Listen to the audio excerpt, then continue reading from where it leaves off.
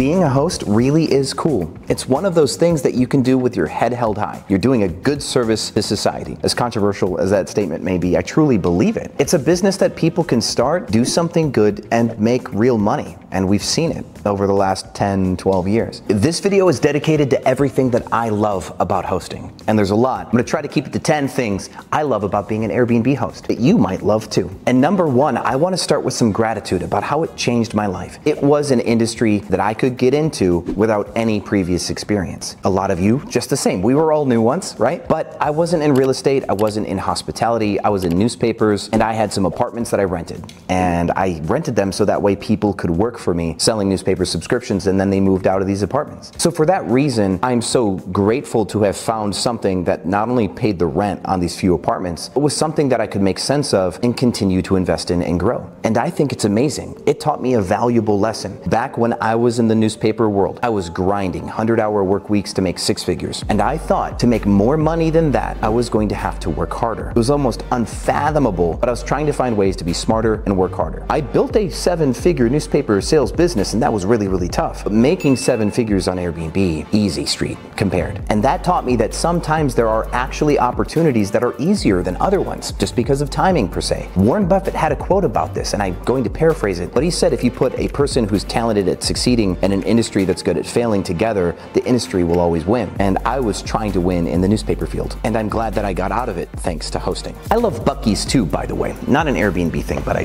definitely love me some Buc-ee's. The second thing that I love about Airbnb is that it is easy to understand once you're in it. The business model isn't overly complex. We have person coming to a place, they're going to sleep, they're going to leave, and the place needs to be cleaned. It's transparent enough that you could care and figure it out without having to go to college. I think that's one of the biggest things about this industry that's probably caused so much growth is we all sleep on beds. We all have traveled at one point. So we all have enough life experience to kind of find our way into the industry. Now the industry has gotten harder, right? We have to have good design and um, there are technologies that maybe you need to get to know and pricing strategy is a big thing that I talk about all the time. So it's not just some overly simple thing, but it is something that anybody could comprehend enough to get started and not like drown, not get buried and lose millions. And yes, I know that statement is a red flag, not losing millions, because there are big companies that have lost hundreds of millions of dollars and real estate investors that have lost money. But I think that whole shtick is for a different video. But that leads me to the third thing that I love about being a host. This business model, the little guy has an advantage because hospitality is the art of connecting with another human and making them feel seen, accommodated, and comfortable. My biggest challenges as an Airbnb host have come from trying not to deal with guests. Hiring myself out of a job, automating stuff, check-in guides that are sent on automated messages, and trying to find ways that I don't have to answer guests' questions late at night. That stuff, let's use the word abdication, even though it's a big one, is what drives people out of business, I think. The little guy who cares about the guest and goes the extra mile once in a while is the one that stays in business, that gets the good reviews. It's a great industry to be in if you care. And the fourth thing that I love about this business model, being a host, is that it is scalable. That's not impossible either. I can tell you how hard it was to run sales teams in multiple cities for newspapers. I couldn't run more than two cities at once because it was all dependent on sales guys, their motivations, their integrity and honesty. People would cheat all the time to make commissions. That industry was tough. It was really hard. This industry, I've gotten up to nine cities on housekeeping teams, good, honest labor. we'll talk about that in a second too. And I've gotten to my size, over 150 properties doing more of the same. I thought this was true in the newspaper industry. I used to tell people, if you could do something once, you could do something a thousand times. And I was talking about having a conversation that would sell a newspaper subscription back then. Now, that one thing that we do is the turnover, the cleaning the home and making it good. We have two sides of the business. We've got the launch, which is making the home beautiful, which good design is a great preventative strategy against hardship in the future. I'll tell you, the more time you spend on the front end, making sure that the place is right out the gate, the less time you have to spend on the back end. If you wanted to make this business passive, make every listing awesome. That's my advice for that. But the turnover is something that you can duplicate, that you have systems, that you have checklists, and you can put housekeepers on an hourly quota, like how many hours does it take to clean this place, and what to do when it's really trashed, what to do when stuff goes missing. Because of volume of scale, we've done hundreds of housekeeping cleanings this week, right? And because of that, we see everything. And at scale, you get a lot of data. You can run a really, really good business at scale. I mean, I've achieved a life that I never dreamed of because I was able to duplicate housekeeping teams. This is nuts. It's awesome. And the fifth thing that I love about hosting, being a business owner in this space, is the relationships that you build with the people that you hire. Hiring a housekeeping person is a entry level position. We tend to hire people from places like Wendy's or Jack in the Box or McDonald's or Golden Corral or the gas station down the street. That's the same thing that I did in the newspaper industry. That's a bias that I have. I always found it hard to hire in the newspaper industry because it was straight commission. No one wanted to sell a newspaper subscription for commission only if they had any dignity whatsoever. It wasn't a sexy job. But somebody working at Jack in the Box for $6 an hour back then, 7 an hour, they would do it. And they would make their first commission check like 600 bucks, which is way more than they ever made on minimum wage. They would love the job. So we did the same thing here in the housekeeping world. I'm good at training people, and that's why I went this direction. Is I'd go find happy people at low-paying jobs, and then I would offer them way back in the day 12 to 13 dollars an hour. We pay 17 now. And I'm seeing ads requiring that people have master's degrees paying 20 an hour. So $17 an hour is a great pay for someone who needs no experience and not even a high school diploma. We'll let you in. And what happens when you give someone opportunity is the coolest thing. When you give someone a way up to make a little bit more money, to learn a new skill, to rely on themselves, they'll look up to you and you can build a relationship with someone and care about their future and you get to see them go places. It is the coolest thing. And I hope to do that until I die. Hire people who never thought that they had a chance and give them a chance. And housekeeping teams doesn't sound like the biggest thing. But if you remember, Haley started with a $500 per week salary in my company years ago as my assistant. First day, we were both cleaning apartments. It was like when I first launched in Dallas, 2018. And we cleaned toilets her first day. She eventually got over $120,000 a year salary at this company before she moved on. Started her own thing. That's pretty cool, right? Within a few years, she went from 500 a week to like $2,400 a week. That is upside that you could give someone if you wanted to grow your business like that. Otherwise, you can give someone a local operations job, but they do make a good salary, fifty to $80,000 a year to help you run all of your Airbnb properties in one city. It's also something that you could do. And the sixth thing that I like about this industry industry is that it is a whole business. And I have to kind of explain this from a book that I read once when I was homeless. The book was called The Leadership Pipeline by Ram Charan. I had failed as a manager in the newspaper industry before I started my own business. Off the back of that failure, I tried to start a teeth whitening sales company and failed that and went homeless. While homeless with a negative balance in my Chase bank account, I went to Bank of America and tried to open an account. And they wouldn't let me because I think one of my accounts got closed or something. He's like, sorry, we can't open an account for you. And he saw that I was down bad. So this business banker said, hey, here's a book that I recommend you read. It spoke to me and it's one of our required reading books for this whole office that we have here. And I took it, sat in a Starbucks and I read it. And one of those chapters talked about moving up in a company, maybe into management, upper management, into almost like enterprise management, where you have to deal with accounting, sales, research and development, human resources, like you deal with multiple departments. A person who gets promoted to that level usually finds that they try to solve all of their problems with the one skill set that they had. So if they were an accounting manager first, they would try to solve all of the interdepartments problems with accounting. Same thing for sales. And that was me, I was a sales guy. I always tried to sell my way through everything. Like I would work more hours doing sales. Instead of training new sales guys or finding ways to make their life easier,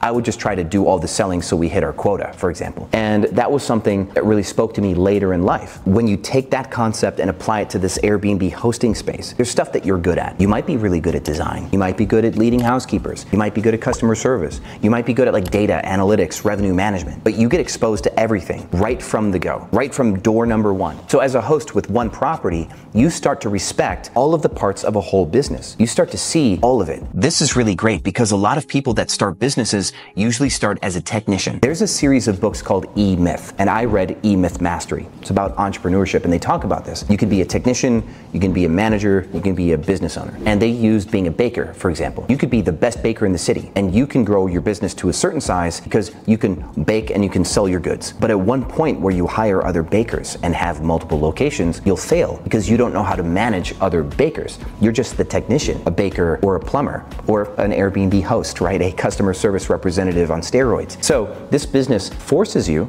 to reckon with all of the parts of a business. And that makes you more prepared for any other thing you ever do, ever, ever. I think number seven is one that I actually miss. One of my favorite things about this industry was when I was brand new, all the people that I got to meet. I met some really cool people at my first Airbnb properties. Like stood in the doorway and talked to them. It was really fun. I still once every great while get to have a conversation with someone. A couple months ago, maybe three, there's a gentleman who got scammed out of buying a property and him and his girlfriend and kids needed a place to stay. And we have really affordable Airbnbs and he was paying me every day or two, money he was making on Uber because he just didn't have any cash. And we constantly let him pay late, stay late. We just worked off the books with him a bunch. He was having a really bad time. But we had some really important conversations for him to get his head on straight. And those conversations that I had with him reminded me of the time that I went homeless, where my old neighbor gave me some really good advice about not losing focus. I still remember that advice to this day. I wish I took it back then, but I remember it now. And if you're a small host with just a couple of properties, you will meet amazing people, even today. Even with the bad rap about Airbnb guests, there are still great guests out there. And number eight, I don't think many people will agree with me on this. One of my favorite things about this industry is that it's changed and that it is competitive. I mean, I really did a number on my own business by teaching everybody how to Airbnb for free. There are so many hosts out there now that are good, and it forces you to compete and change and reconsider what your business should be, what it should look like, how it should run. And I love that challenge. I love having to make changes, adapting to the industry. It gives me ammo to come here and give you guys videos. Remember when COVID hit, I was stressed, stressed, but I did a video every day on like my pricing strategy and ways that we were getting direct bookings and that situation forced a lot of growth. And isn't that why we're here like on earth here is to grow, right? So if you're not in a space where you're growing, I think you'll eventually detach. You'll pull back out of it and not want to be part of any of it. And I know people who did really good on Airbnb and also people who've done really good as Airbnb coaches, but they didn't connect with it and they thought it was just going to be a way that they were going to make easy, steady money forever without any real internal challenge. And when those challenges came, they woke up one day and said, you know what? I don't want to meet those challenges. I'll take the pay cut and move on. So I've seen people leave the industry, both coaching and hosting, because it really wasn't for them. Those challenges force you to get to know yourself on a deep level and it can reaffirm why you're here and that you should be here. So with that, congratulations for still being here. And number nine is this. I get to take everything that I learn, all the challenges that I've gone through, all the mistakes that I've made, and I can make videos. And I can tell you guys, this is what works for me. And I'm ADHD. You guys have probably noticed that. So sometimes I don't say things the best way. I'm like, you should do this, you should do that. But that's just me super emboldened because I got my butt kicked for a couple years doing something and I learned a better way. And I'm coming here on a video and I got eight minutes to share it with you or something like that. And I'm like, you should do your prices like this. But it's because I care. And these videos are probably one of my favorite things to do with my life. I do coaching on Saturdays. That is my very favorite thing. Making these videos from my experiences are probably why I'm still hosting. It's a cool business, don't get me wrong, but I would be a musician if there was no consequences to that decision. That's why the piano's over there. I dropped out of music school. So I'm an artist at heart and running a business that has challenges that I can distill into lessons and create videos in a way is a form of art. And thank you for being here and allowing me to make these videos for you. And number 10 of my favoriteest things in this industry, bird's eye view, is that this industry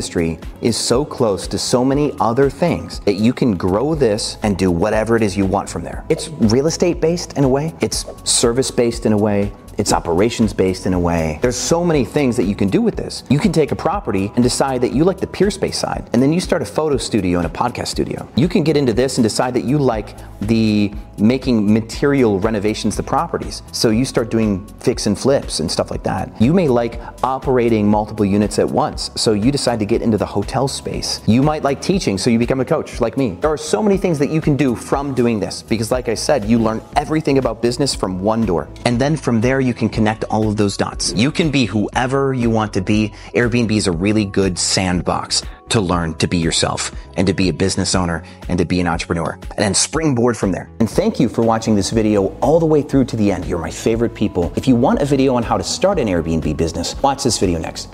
If you already own an Airbnb business and you want to make it better, watch this one next. Thank you guys. And as always, I will see you on the other side.